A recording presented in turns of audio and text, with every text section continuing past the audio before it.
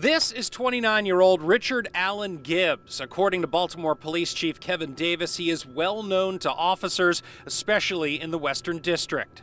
Uh, he's a violent repeat offender. He's a prohibited gun carrier.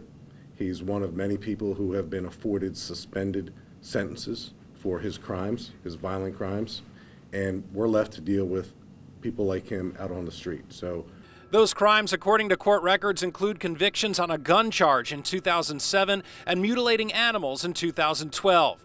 Tuesday night, police say, a rookie officer with a year and a half experience pulled over Gibbs for driving with what police called an obliterated Michigan license plate on a gold BMW hatchback in the 1000 block of Monroe Street.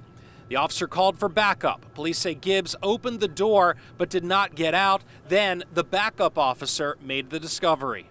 As the officers asked him to exit the vehicle, the suspect produced a handgun. And uh, another officer on the opposite side of the vehicle, on the passenger side of the vehicle, observed this action and yelled, gun. Police say Gibbs then exited the car holding the gun. The rookie officer made an attempt to swipe the gun out of his hand, but then shot Gibbs in the right shoulder. This gun wasn't in a holster. This gun wasn't underneath the seat. This gun was in the hand of a bad guy. And the officers were confronted with that situation and had a very short period of time to make a decision. Police say they found a black spray painted revolver loaded with five rounds. They also say Gibbs is prohibited from carrying a firearm and was driving on a suspended license.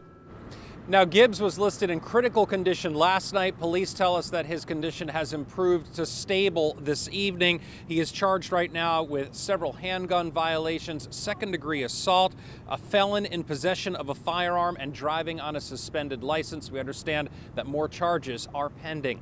We're live downtown tonight. I'm Lowell Melser, WBAL TV 11 News. All right, Lowell.